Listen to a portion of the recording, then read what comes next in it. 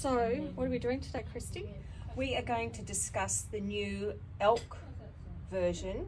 Oh yeah, the Osby. Yeah. Osby? So I've got Osby. I've got the Agna sweater on, and this is the Osby. Yes. So we have run out of the beautiful Agnas in the Ecru, which is this colour. Um, and the Osby's just come out, so we thought we'd grab it and tell you a bit about it. So with the Agna, we've got the drop sleeves, we've got um, a high-low waist, so it's quite short at the front, but it covers the backside at the bottom. Um, it's got that scooped neck on it with the nice loose um, knit, so it's a nice lightweight knit. Now the Osby is exactly the same fabric, same weave and everything, but it's a bit more boxy. Doesn't have that high, high low waist, so it's Oh, yeah.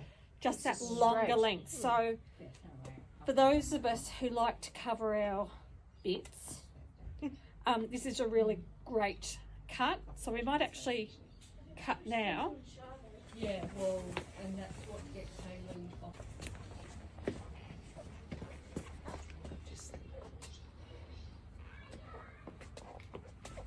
So back.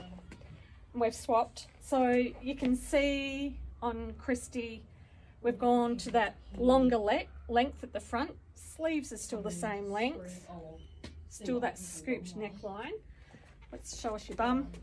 Still got that bum coverage. It is literally we're gonna need someone else. that length at the front and it's a little bit a little bit narrower. But apart from that, Same, same but different. same same different. Osby, Agna. Osby, Agna.